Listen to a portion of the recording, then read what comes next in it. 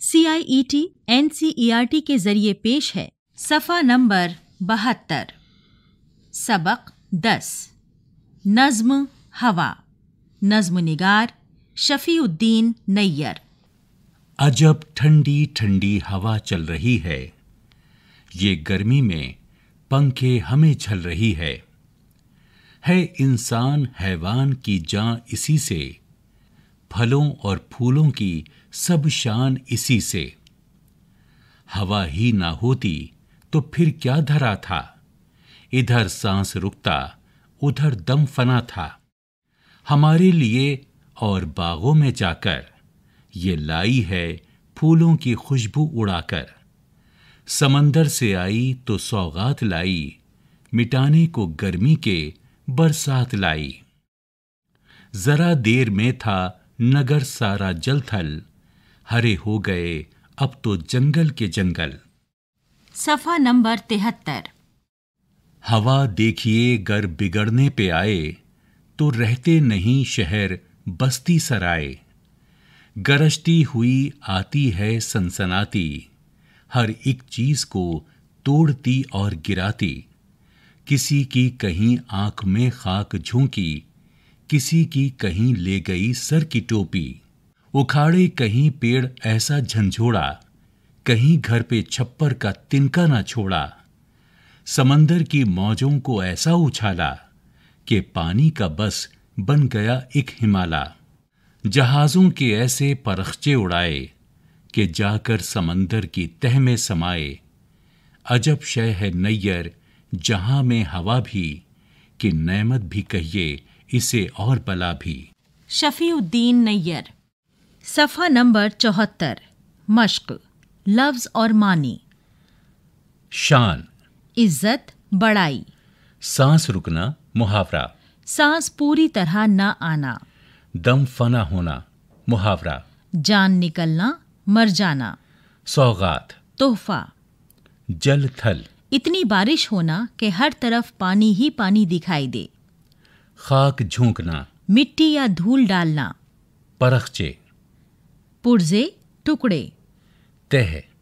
निचला हिस्सा तली सतह। शय। चीज़।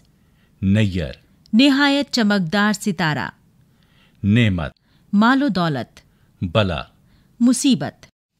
गौर कीजिए। हवा के बगैर इंसान और हैवान ज़िंदा नहीं रह सकते। इसलिए हवा को इंसान और हैवान की जान कहा गया है। हवा ही ना होती तो फिर क्या धरा था? इधर सांस रुकता उधर दम फना था। लफ्ज सांस मुजक्कर और मुअन्नस दोनों तरह बोला जाता है। सफ़ा नंबर पिछहत्तर। सोचिए बताइए और लिखिए। एक गर्मी में ठंडी हवा के चलने से कैसा महसूस होता है? दो हवा को इंसान और हैवान की जान क्यों कहा गया है? तीन हवा समंदर से क्या सौगात लाती है? चार हवा जब गुस्से में होती है तो क्या होता है? इन मिसरों को दिए गए लफ्जों से पूरा कीजिए। तिनका नगर जा समंदर परखचे फूलों। एक है इंसान हैवान की खाली जगह इसी से। दो ये लाई है खाली जगह की खुशबू उड़ाकर। तीन जरा देर में था खाली जगह सारा जल थल। चार कहीं घर पे छप्पर का खाली जगह न छोड़ा। पाँच जहाजों के ऐसे खाली जगह उड़ाए। छ के जाकर खाली जगह की तह में समाए। इन मुहावरों के मतलब बताइए और जुमलों में इस्तेमाल कीजिए। सांस रुकना दम फना होना परखचे उड़ाना खाक झोंकना। सफ़ा नंबर छिहत्तर नज्म से ऐसे अल्फाज तलाश करके लिखिए जिनमें फ ख छ झ भ थ ठ का इस्तेमाल किया गया है। मिसाल के तौर पर पे नून काफ दो चश्मी है बड़ी ये पंखे। यहाँ कुछ मिसरे दिए गए हैं। हर मिसरे में एक तस्वीर है। उन तस्वीरों की मदद से मिसरों को पूरा कीजिए। एक ये गर्मी में हमें झल रही है। इस मिसरे में पंखे की तस्वीर दी गई है। दो और कि सब शाह इसी से। इस मिसरे में फल और फूल की तस्वीर दी गई है।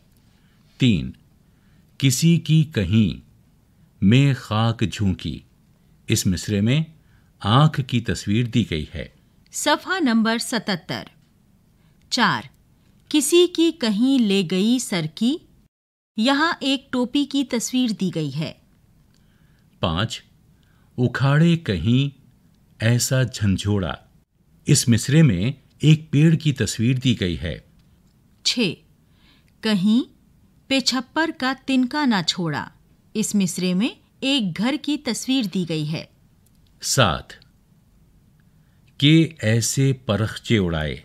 इस मिसरे में हवाई जहाज़ की तस्वीर दी गई है। सफ़ा नंबर अठहत्तर। नज्म में जो अल्फाज इस्तेमाल हुए हैं उनके गिर्द दायरा बनाइए। कहानी जान पहाड़ गर्मी गरीब नेकी शान। सफ़र बरसात सांस मदद खाक जहाज़ ज़मीन। जंगल सौगात नर्म समंदर दुनिया काम उछाला। दिए गए लफ्जों के नीचे उनके मुतजाद लिखिए। इंसान गर्मी देर बुरा साफ़ बहार आसमान खुशी। बताइए ये मिसरे सही हैं या गलत? अजब ठंडी ठंडी हवा बह रही है। हरे हो गए अब तो जंगल के जंगल। किसी की कहीं आँख में खाक डाली। के पानी का बस बन गया एक हिमालय गरजती हुई जाती है सनसनाती। यहाँ कुछ तस्वीरें दी गई हैं। इन तस्वीरों पर दो दो जुमले लिखिए। तस्वीर में एक पंखा दिखाया गया है। सफ़ा नंबर उनासी। दूसरी तस्वीर में हवाई जहाज़ दिखाया गया है। और तीसरी तस्वीर एक बाग की है।